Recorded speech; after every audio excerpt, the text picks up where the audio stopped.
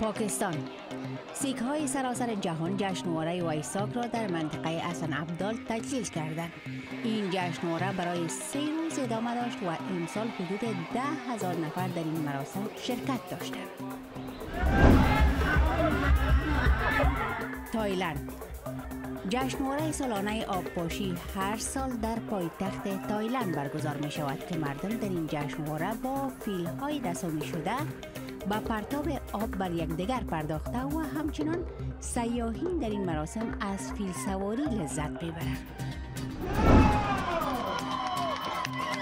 مصر جشنواره جهانی ماراتون با رنگ پاشی نخستین بار در ولایت گیزای مصر برگزار شد که در آن حدود 4000 نفر شرکت کردند.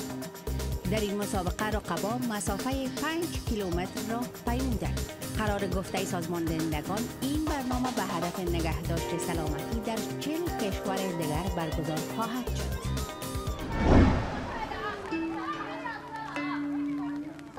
چین سومین جشنواره گلها در شمال چین توجه مردم سراسر چین را جلب کرد.